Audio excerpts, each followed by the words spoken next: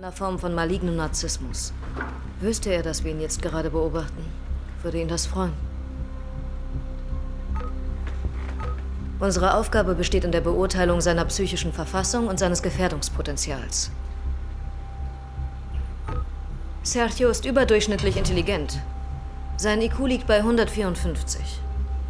Seine Mutter, Blanca Polo, war Psychiaterin.